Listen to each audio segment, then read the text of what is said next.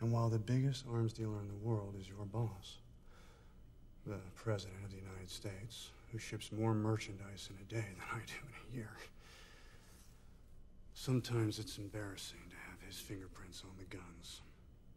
Sometimes he needs a freelancer like me to supply forces he can't be seen supplying. Last month, we're speeding up training of ISIL forces